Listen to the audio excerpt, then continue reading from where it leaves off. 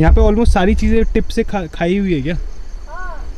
Oh no मिथुन ने हमारा ये खा डाला। तो भाई पूरा मिथुन का पूरा गैंग यहाँ पर आ गया था और उसने हमारी मकई की फ़सल जो है वो खा डाली है थोड़ी थोड़ी सारे सारे उसके टिप जो है वो गायब है।